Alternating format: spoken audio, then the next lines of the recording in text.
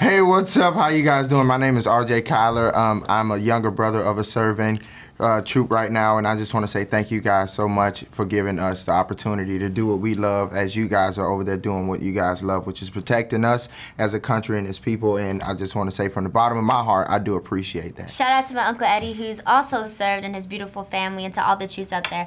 Like RJ said, we're very thankful for you guys, and uh, keep doing it, stay strong, and uh, we're praying for you.